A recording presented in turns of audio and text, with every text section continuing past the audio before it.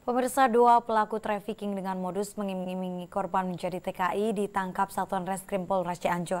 Pelaku ditangkap saat akan membawa korban ke Jakarta untuk dijual ke Timur Tengah. Dari tangan pelaku, polisi mengamankan beberapa barang bukti untuk kepentingan penyelidikan.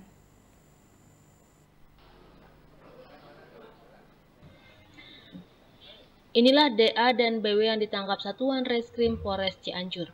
Polisi menangkap keduanya setelah mendapat laporan dari keluarga korban yang mendapati kejanggalan saat pelaku membawa korban untuk dipekerjakan menjadi TKW di Timur Tengah.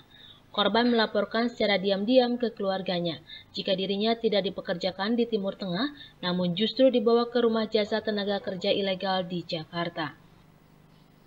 Menurut Wakapolres Cianjur, Kompol Santiaji Kartasasmita, pelaku mengiming-imingi para korban bekerja di Timur Tengah menjadi TKW dengan membayar sejumlah uang. Padahal pemerintah sudah melarang pengiriman TKW ke Timur Tengah. Ke mana rencana si korban sendiri? Jadi rencana ini setelah direkrut, nah, kemudian uh, korban ini dibawa ke Jakarta, kemudian setelah itu tujuannya ke daerah Timur Tengah.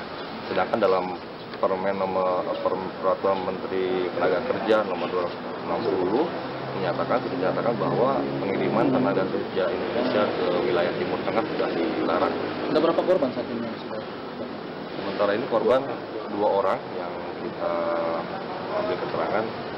Mudah-mudahan dengan hasil keterangan yang ada kita dapat kembangkan lagi kepada korban-korban lain dan bahkan bisa mengembangkan kepada pelaku-pelaku ataupun agensi-agensi yang lain.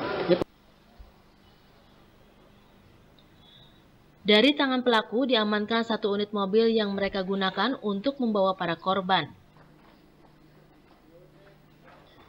Untuk mempertanggungjawabkan perbuatan mereka, para pelaku dijerat pasal penjualan manusia dengan ancaman hukuman di atas lima tahun penjara.